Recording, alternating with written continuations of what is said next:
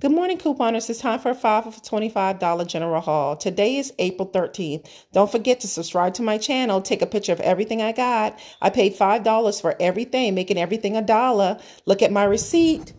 Go be amazing.